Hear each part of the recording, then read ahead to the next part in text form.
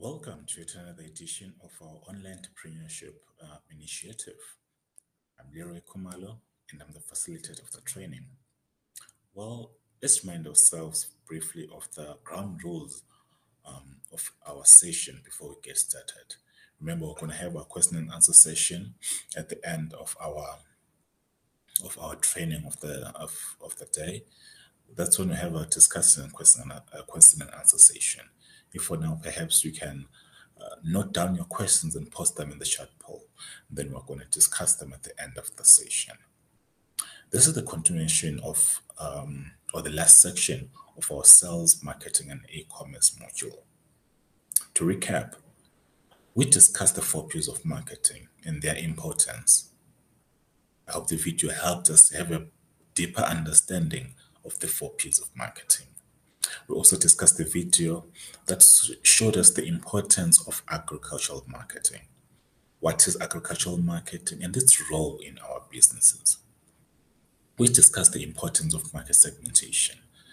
After segmenting, we understand our segmented customers so that we have an idea of how to reach our targeted customers.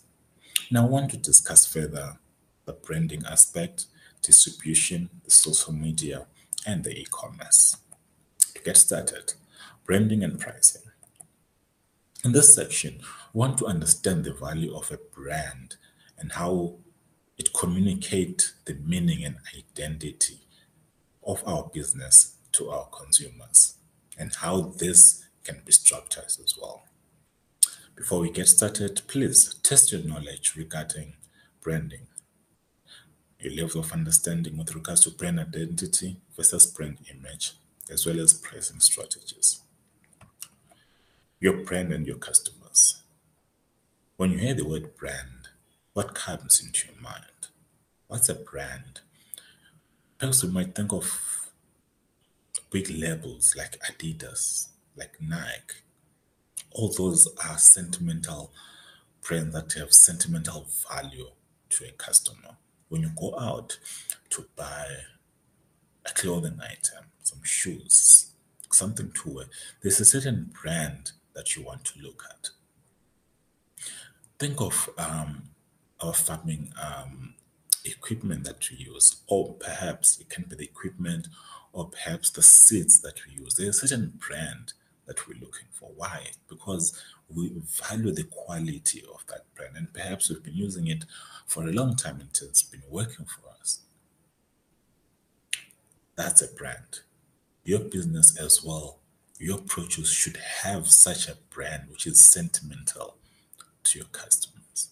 Now, to understand more on this um, section, let us watch this video. It discusses more on uh, brand identity. Please let us watch this video.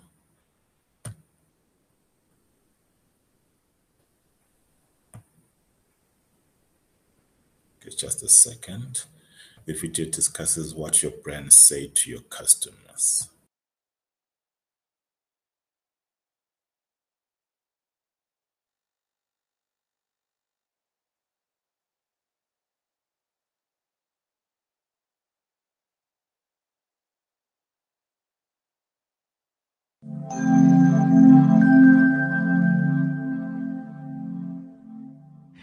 I was really excited uh, when Paul said that we were going to be talking about brands today and, and the notion of branding and marketing and why it's so important. Because as soon as you say brand, if you're like me, right, I think of all the cool brands that I see in the consumer marketplace. I think of brands like Nike, Apple, Google, even McDonald's. And often these brands mean a lot to consumers. Means so much that they actually have value. I know that each summer, Business Week, uh, a magazine in the US, publishes the top 100 brands in the world. And this is done by a company called Interbrand. And what they do is they look at each of the brands that exist and they try to put a monetary value on how valuable just that brand name is. And so, of course, the usual suspects, right? The Apple, the Google of the world are the ones that are at the top. What's interesting is they're often valued at billions and billions of dollars. 60, 70 billion, in fact. Now, obviously, consumer brands are important. Why? Well, they give value to the consumers in so many ways. One of the biggest ways is, is they become a symbol. In other words, if you drive a specific type of car, let's say you're driving a Lexus or a Porsche or a Toyota, what you drive probably says something about you. In a similar way, what you wear, whether you're wearing jeans that are designer, that have a fancy label, or, or something just more casual, maybe a Levi's brand.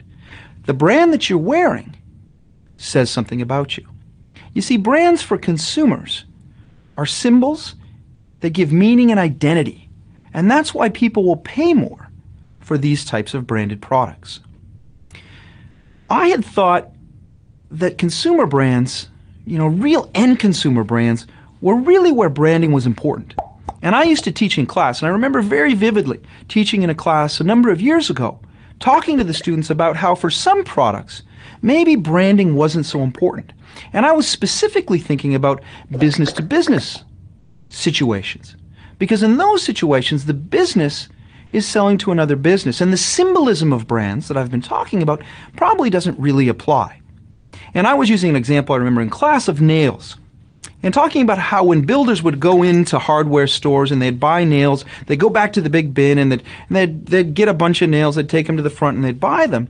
And I remember saying that, you know, for nails, does it really matter if they're branded? Does it add any value?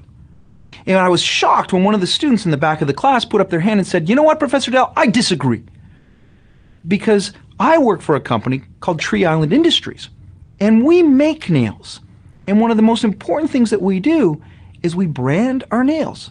And I was like, Shut up, really? He's like, Yes. Because we can put them in boxes, we can put them in tubs, and we can sell them at a premium. And I was shocked. It wasn't until a few years later that I came upon another example of this. I was doing a consulting job for a shipping company called Teekay. An interesting brand, Teekay, but it's a big, big shipper of oil and oil products. Over 10% of the world's oil actually is shipped by this company. They have huge Aframax tankers, liquid natural gas ships, and they move product for customers. Now, who are their customers? Well, Shell, British Petroleum, Mobil, big oil companies. And you would think again, why would they need to brand their product?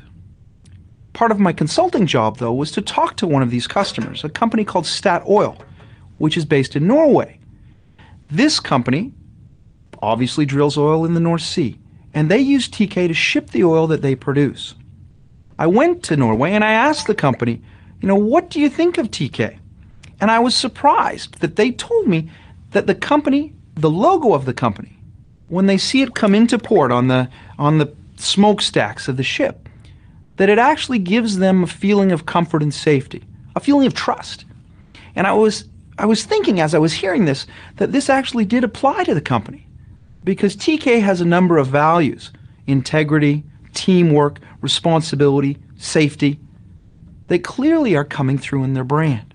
So this leaves me with a bit of a puzzle, to be honest, because you've got these business models that I don't think really need brands, especially when I compare them to consumer products, which really need brands to survive in the marketplace. I'm going to pose this one to Paul. Do all companies need branding? And if so, you know, why? Paul, what can you do for me here?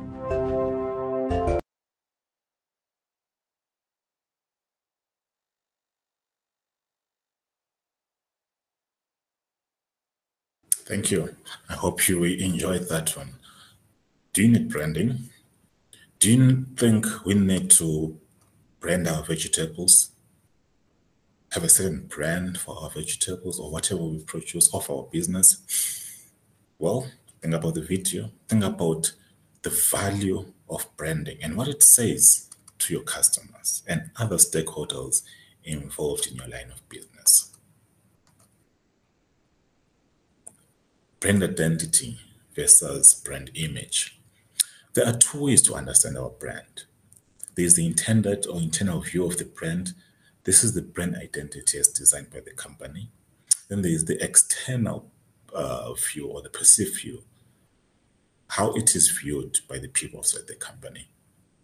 Let us watch the following video that helps us understand the difference between the brand identity as well as the brand image. Let us watch.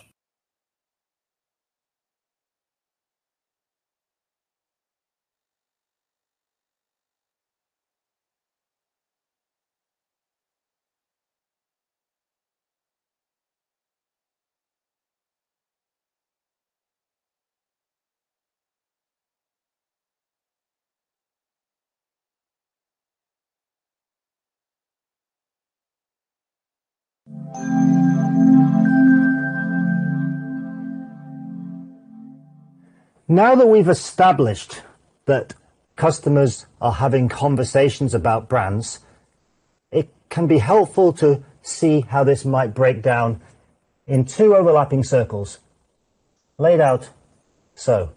There's the intended or internal view of the brand. This is the brand identity as designed by the company. And then there's the external or perceived, the perception of the brand on the outside.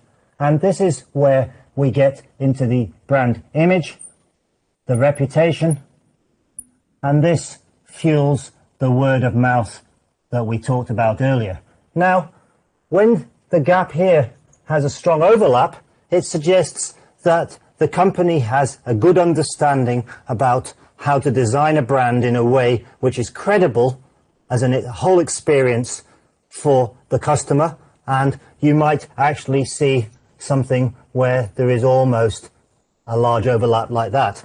You can then imagine where there's a disconnect here, where what the customer perceives, the external view, the external image is very different from what the company intended.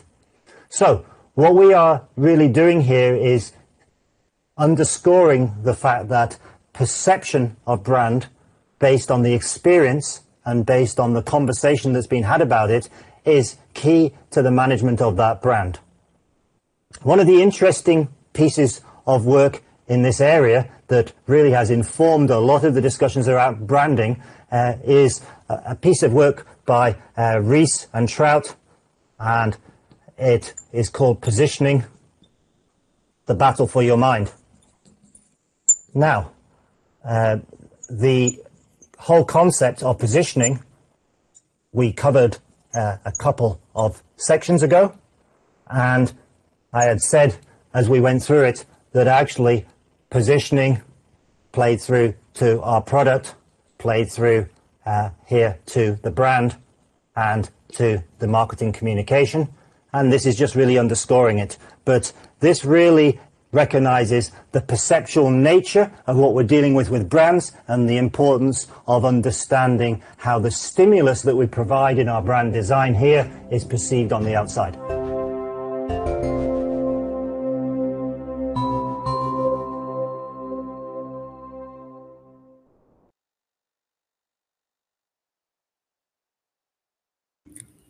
Thank you. I hope you enjoyed that video that discussed about the branding and the brand identity versus the brand image. Now we see the importance of developing a brand which is credible and which you as yourself as the business owner understand and also that will draw your customers to your brand or your products. But now marketing also we need to think about our our pricing strategies they have to allow us to penetrate the market.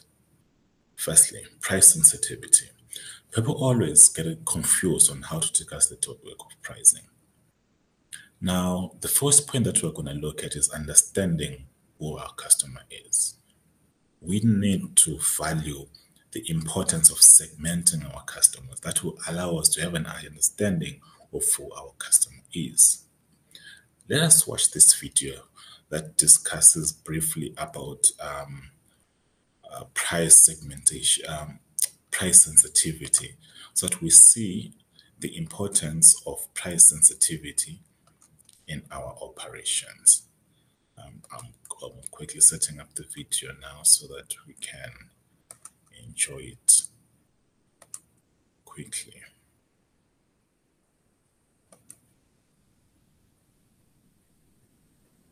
Okay.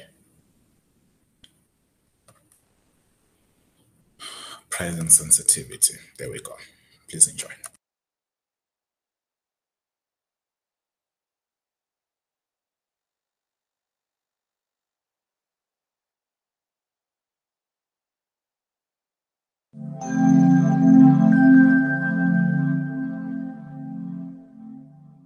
Today we're going to talk about pricing. And pricing is a really good way to start to see how a number of our different topics come together. People often get confused about how to address the topic of pricing.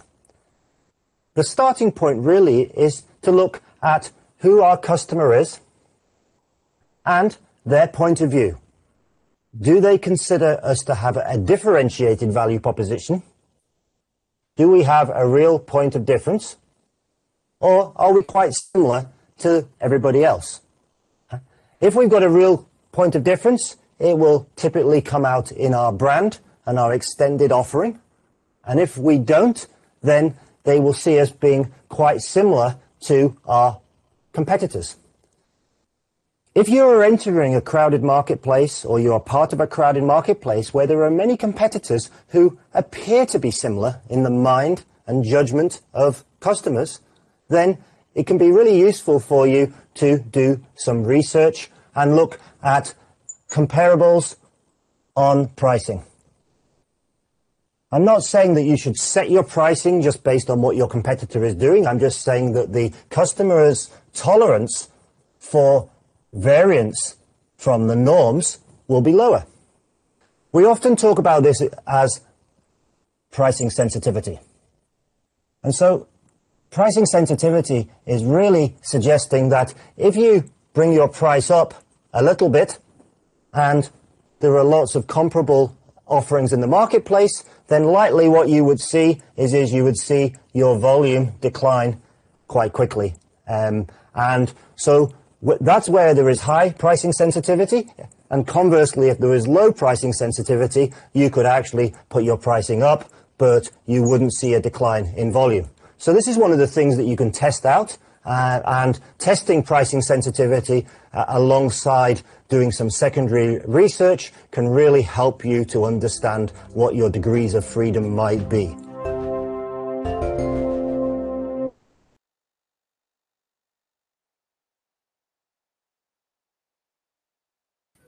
Thank you. I hope you enjoyed that video. Most importantly, pricing. Have an understanding of your customers.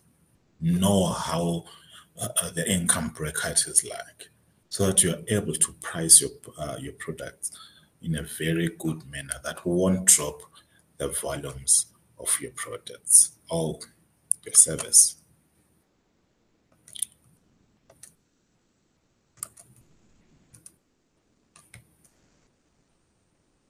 How about certain pricing strategies that we can use? For example, skimming and penetration pricing. With penetration pricing, we are trying to penetrate the market. We are trying to price our products or services in a way that will be acceptable easily in the market in order for us to quickly gain a market share. Now, the video to follow discusses about skimming and penetration approaches what sort of approach is this, and how can we use it uh, at our business operations, especially with the view of um, increasing our market share in the industry? I'm going to play our video for now that talks to price um, skimming and penetration. Let us watch.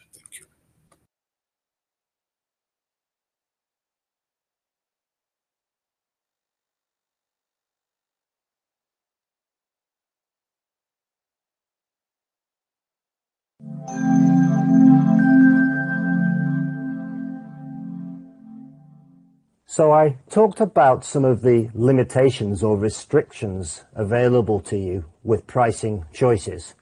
But if you've done a good job of the earlier stages of your marketing design, if you've got a higher point of difference, if you are either resegmenting a market or creating a new category, then this gives you more choices around a number of things, including pricing.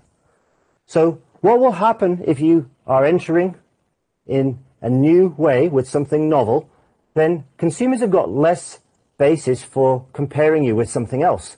And so you can set expectations around pricing and you can focus on their willingness to pay. And what we want to do is, is we want to be really clear that this is our focus on pricing and how we set pricing. We don't want to do something known as cost plus. Right? What do we mean by cost plus? Cost plus means let's look at our internal costs, add a desired profit margin, and then set the pricing like that. Why wouldn't we do that? A few reasons. First of all, the price that we then might want to charge might be far more than the willingness to pay. So we won't sell anything. Or secondly, we might price it at less than the customer's willingness to pay, and then we might leave some money on the table. We could have charged more if we wanted to. We should at least know that before we make some choices. So as we take this forward then, assuming that we have something that's novel, something that's really differentiated, where there is a higher willingness to pay on behalf of the customer, how should we go about this? We have a number of initial choices that we can make. We can take what is termed a skimming approach, or we can take what is known as a penetration approach. So let's just go into these in a little bit more detail. A skimming approach basically says that if this represents here the potential market that we can target, then initially we will do some micro segmentation. We will skim at the top those people who are willing to pay more money for our items. So we often see this when there is something new that has come into the market. When Apple first launched the iPhone a number of years ago now, it was $800 without contract to buy. And there were certain people, early adopters, that would go and pay that amount of money. Clearly the price has come down and the pricing is also now bundled into service contracts and so on and so on. However, at the beginning, this is how they sold it. So you might do that if you've got some advantage over time. You see it quite often it happen with uh, uh, prescription drugs, where there is a patent in place, and it allows there to be uh, um, a skimming of the market and a keeping the price up. If you think that you are going to have competitors that will respond very quickly. You don't have patent protection. You don't have differentiation that you can hold on to uh, really clearly. Then you may well go with penetration pricing. What's penetration pricing? It says of all of the people that we think might reasonably buy from us over a period of time, we know that if we price it lower down here, then those customers will all buy from us initially. And then it means that our competitors will not get that sale. So if the cycle time on a second purchase in the category is months or years, you may want to do this to preclude your competitors from coming in. And indeed, sometimes you might even signal ahead of the launch that you are going to go at a pricing like this to put competitors off. So you need to know what you would be giving up in terms of higher pricing for a subsegment and you also need to know that you can make things at a low enough cost that you would still make an acceptable price. So these are some choices for you about how you might go about pricing. It's not always about taking the maximum available. You may want to be able to take a larger uh, overall market and, and be more successful competitively. And this would be a strategic rather than tactical approach to setting your pricing.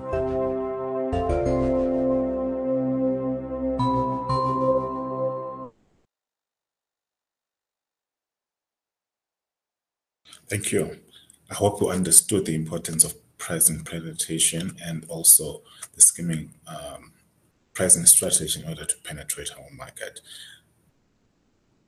as well as the importance of pricing with a view of meeting our desired profits as well, not just reducing our prices, but with the view of um, generating profits for our businesses. Then let's now move on to the distribution, marketing, and communication session. Here you want to understand and appreciate the importance of distribution from a marketing perspective.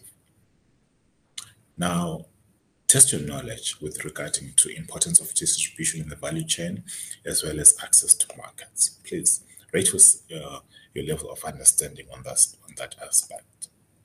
Distribution. This is how products move from our farms to the wholesalers to the retailers, then to the end user. This aspect has a huge impact on how brands and products are marketed. So we're going to look at distribution from a marketing perspective. We're going to focus more on how we can use the internet, the social media, or how this has also disrupted traditional uh, ways of distribution that we have always been used to. It is one of the most important aspects of marketing mix. So we need to really have an understanding of it, of how important it is in our business operations as well as in the value chain.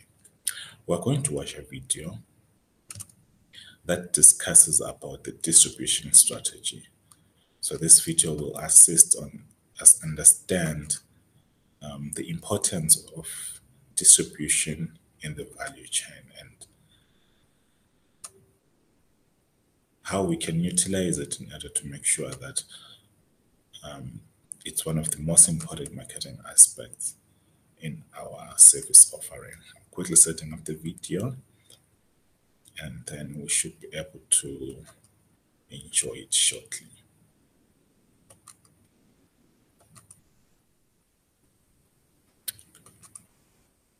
Okay, there we go. Distribution strategy. Okay, please enjoy the video.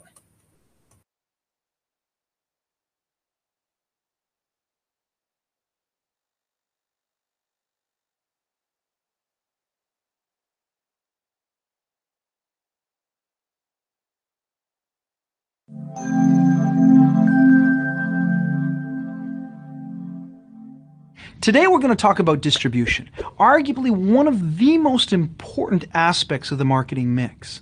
Why? Well, it's it's because distribution is how the products get from the, the company to the actual consumer. And if that didn't happen, you know, we wouldn't have marketing. When you think about distribution, think about yourself. You know, how do you buy products, right? You may go to the grocery store, maybe you go to a department store. Maybe you hit up a specialty retailer that's carrying your favorite line item. Or maybe you go to a garage sale. These are all ways that, you know, products come to us, the way the distribution channel works. But perhaps the most revolutionary form of distribution that we now use almost every day is the internet. And that's where I'd like to base my story because the internet has been a true disruptor to distribution. And it has changed the way that we think about how products get to consumers. The case study that I want to focus on is Amazon. And this is a brand that most of us know. Why? It's, it's huge. Amazon is in a number of countries around the world. It's truly changed the way that consumers get products. And it's not that old. It started in 1994 with an idea that Jeff Bezos had, the founder. He thought there's something new on the horizon. This internet thing could be really important when it comes to selling products to consumers. And maybe there's something I can do here that would be really cool as a new business model. What he did was he made a list of 20 different types of products that perhaps he could sell on the internet. Use the internet as that distribution mechanism. He narrowed that list down to five computers, computer software, videos, compact discs, and books. And it was this last one, books, that he chose. Why? He saw an opportunity here. Because while most grocery stores or small little retailers could only stock 20 or 30 titles, on the internet, he could have a warehouse of thousands of titles and then sell to consumers whatever their need. This might remind you of this idea of the long tail, something that we talked about in one of the first lectures.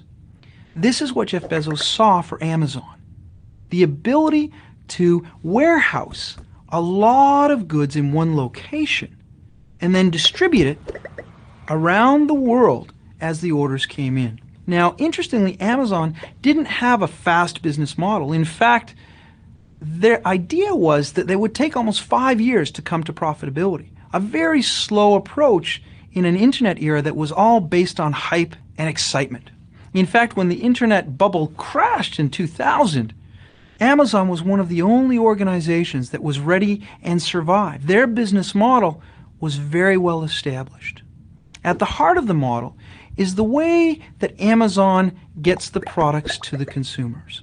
And they use big distribution centers, huge warehouses, thousands and thousands and thousands of square feet. And they locate these distribution centers. There's 145 now around the world in locations that enable them to basically touch anyone. What's interesting to you is that these locations, at least initially, were not based on geography. So while it makes sense to put a, a, distribution center in California or one close to New York, they actually chose distribution centers with a different competitive advantage in mind. Because initially, retail sales on the internet were not subject to retail taxation, at least in most states here in the United States. And so what they did was they chose distribution center locations that avoided that extra cost of tax to the consumer. And that became a competitive advantage, one that they actually leveraged for many years because they were able to sell their products at a lower price than some of their retail competitors. This resulted in great profits and a lot of customer loyalty to the Amazon brand. Only recently has Amazon changed this approach because taxation law has started to change. And the organization has pivoted to trying to build these distribution centers, centers where orders come in, orders are filled, and then orders are sent out to much closer to these large consumer populations. Because now, instead of the taxation benefit, what we're interested in as an organization is finding benefits to the consumers in terms of the speed with which they receive the product. In other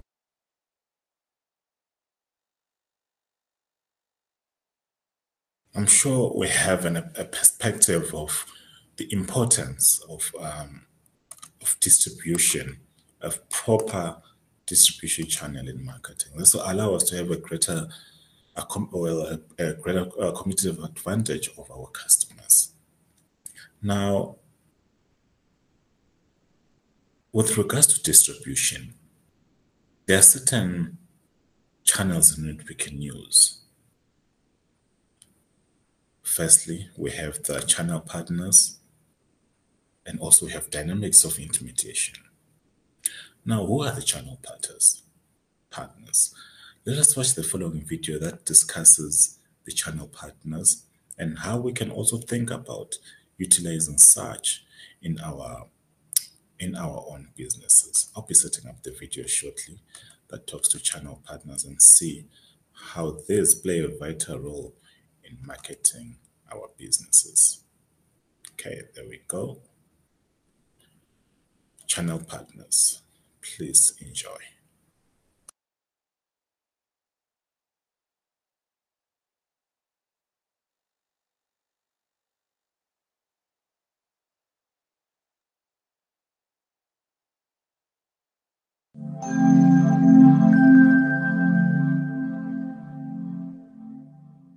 So now we've established that there are choices about going directly or indirectly to customers. I want to come back to a couple of fundamental questions. Who are the channel partners, the intermediaries? What do they do? And then why might you make a choice to go with one or more channel partners versus going directly yourself. So let's break this down. Who are they? Well, you often know channel partners as retailers, a Safeway or Walmart. You may know them as an online retailer like an Amazon, uh, or in your own industry, there may be some other sort of middlemen. Uh, so there's lots of different terms for this, and you can have a look at the glossary uh, that's provided uh, online to see what other synonyms might be used. So what roles do they undertake? Well, the fundamental role is this one of access to customers. My customers may be spread out around the town, the country, the world, and a retailer like a Safeway, they have built stores, they've invested in that to distribute products close to where people live and to provide people with lots of choices, not just from one company. So that's the fundamental thing that they do. But in addition to this, what might they also do? They might store products and maybe they need to be stored particularly in warm environments or dry environments or cold environments. Um, they may indeed um, break them down into um, smaller bundles or they may aggregate them up into large bundles that consumers want. Um, and they may also provide training, installation, uh, support with warranties, returns, etc. So understanding the what uh, is important. And then the next aspect I want to deal with before we get to the why on choices is, is what are the financial implications? So we're going to follow the money in the channel. This is often termed channel economics, um, and channel economics plays out as follows. We're going to take a really simple example. What we're going to do is, is we're going to look at a customer that pays $10. This is at the customer end, and the customer is paying $10 for an item. So in the direct channel, which is represented here above the line, then the customer is buying from the company directly, and as a result, the company gets all $10. Fantastic. Let's look below the line. In the indirect channel, what we are going to do is, is we're going to assume that there is a retailer that the customer is buying from, like a Safeway. And in this instance, the retailer is going to take 50% of the selling price. The percentage will depend on your industry, it will depend on your geography, it will depend on your negotiating power, but this is not unusual. We're then actually going to have a second intermediary, a wholesaler, and the wholesaler here is going to take 10%. So that leaves us with 40%, or in this simple calculation, it leaves us with $4. If we receive $4, we've got to be really clear when we set our selling price that the $4 is sufficient to cover our cost of goods, our selling and general administrative expenses, and indeed any profit that we might be planning to have. So as you can see, distribution choices, they link very, very closely to what we covered earlier on around pricing. Now, the last question, why? Why would you choose to give up possibly 50, 60% or more of what the customer is willing to pay to a partner for distribution? Well, it's because the partner is good at doing that and you're going to focus on what you do well. So a company like Procter & Gamble, Tide laundry detergent, they'll tend to sell through retailers and through wholesalers and other intermediaries, and they will work their business plan around this uh, sort of amount of money relative to the selling price. Whereas there are some other companies, let's take Zara, the fashion retailer, and they will tend to sell directly through their own stores, and they will work on the basis of being able to capture that amount. So these are choices that you have, uh, and more often than not, we see that use of channel partners partially or completely is part of the marketing mix and decision process.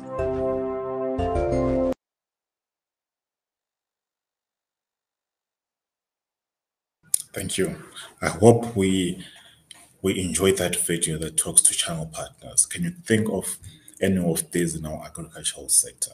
Any wholesalers that we supply to who eventually um, we offer commission to because they distribute our products. These are the channel partners that we're talking about. You think you can make use of this? Are they feasible in your line of work? Think about it and make sound decisions for your business operations. Let's move on to one of the most important aspects, the social media. In this aspect, we want to understand and monitor um, how to monitor and facilitate the online conversations that are happening, especially when we are focused on social media marketing. Its impact on our businesses and any new trends that are available. Please test your knowledge.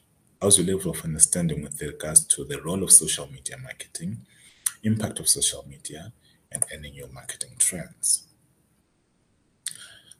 social media has been has proved to be one of the leading tools and the source of marketing It can be paid platforms where you pay my um, monthly subscriptions for our marketing. It can be free platforms or we just advertise to the general public as well. It continues to gain popularity no matter where it is in the country today or in the world. But we need to understand the effectiveness of social media. Do you think the social media is effective or can be effective in our business operations? Well, the social, um, the next video will discuss about the use of social media. It will give us an overview of um, the social media as well as uh, its effectiveness in our operations. I'm setting up the video now. We should be able to enjoy it shortly.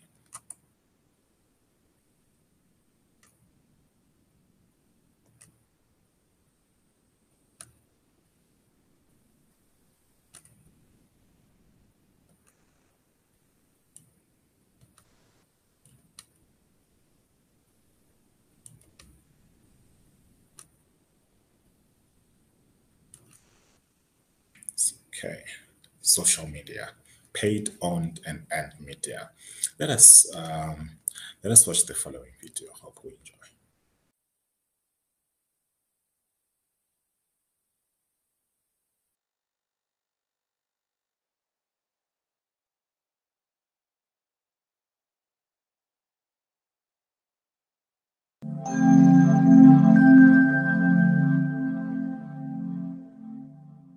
Social media is one of the most interesting areas of modern day marketing. It's fast changing, it's exciting, but it can be confusing for marketing practitioners. And so it's no wonder that non-marketers in business can have questions about how does it work? Is it effective? Should we be doing more or less of it? What I want to do is to set a context for you for understanding this. Please consider three overlapping circles laid out thus. They represent paid media. This is our traditional advertising. Owned media, which might be a retail storefront or it may be a website that we send people to.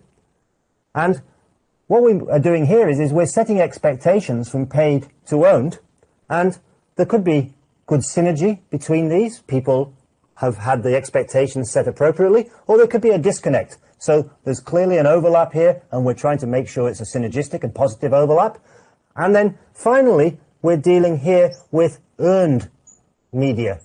And earned media is what people say about us. This is known as word of mouth, sometimes short formed to WOM, and with word of mouth, we could have positive word of mouth or negative word of mouth. And word of mouth has existed long before social media, but social media gives it scale and speed uh, to move along. And so, how might we see these three interplaying? Well, if we do a good job of owned media, then we can leverage it so that we get positive word of mouth at scale and in turn, this should mean that we can spend relatively less on paid media. So in this way, we would have more effective marketing communication in terms of its impact on consumer behavior. And equally, we would then have a more cost effective approach to our marketing communications.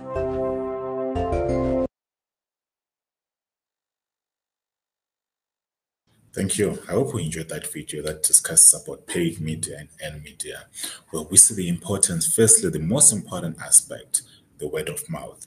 Most of our advertising is word of mouth. We spread the word about our products through our partners, our friends, our relatives. This is the most important aspect in our marketing. Hence, it is very important. It can impact the amount of money we spend paid media.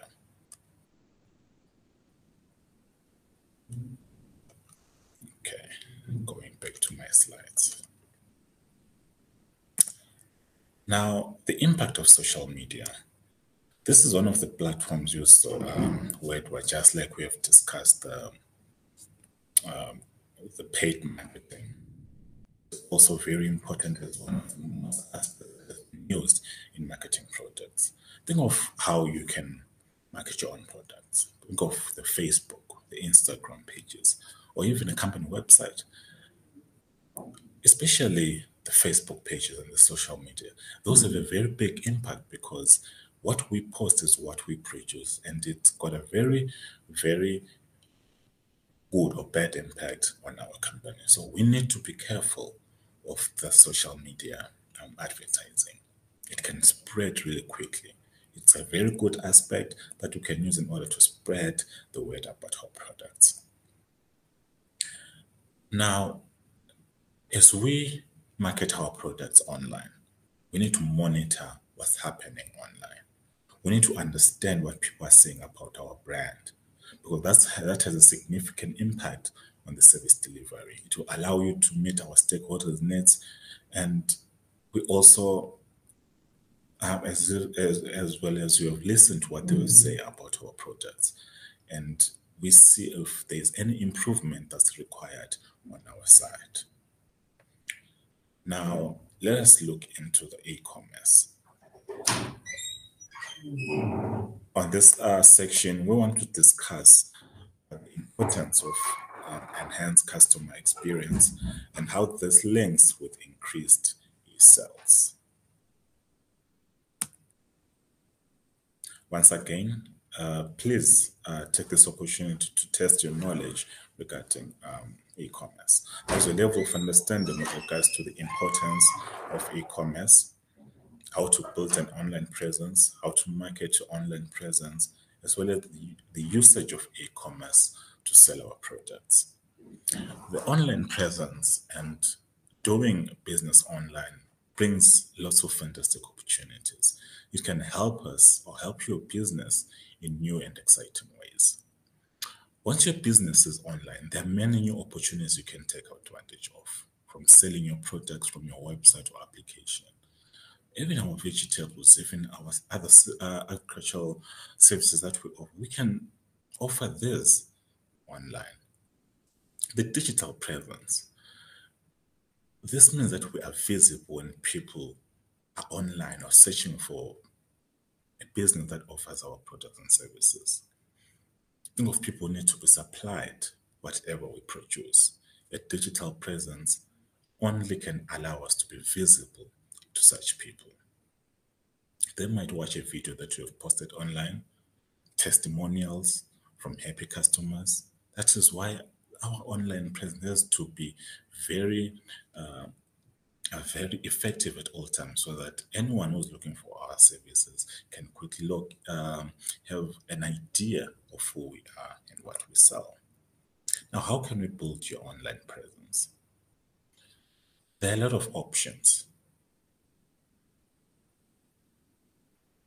We can, uh, the most uh, easy one is the use of the website and Facebook pages. These are some of the easiest social media, online presence, um, uh, websites that you can use to, in order to market our, our products, especially in agriculture. Website is important. A Facebook page is important so that we post everything about our services and our products. This will give us a good visibility digitally. We can also use e-commerce to sell people have been making online purchases on websites and mobile applications for a while now. People are used to, to, to the change that's happening around us. We need to adapt to such, if possible, in our operations. Can we use online platforms to sell our products? Think about it and see how you can implement that in your own operations. Now, remember, we are going to post an exam regarding um, sales, marketing, and e-commerce, and how we can utilize these platforms and the importance of this in uh, in marketing. I hope you enjoyed and have an overview and a, a broader understanding on the importance of marketing, especially segmenting ourselves in a way that we can reach our customers. An exam will be posted. Please prepare fully go through the training manual, go through the features that we've had, um, complete the exam as it is part of the assessment. This is the time when we're going to have our question and answer section open to everyone. Let us uh, orderly um, post our uh, questions and any discussions that we might have. Until next time, thank you so much.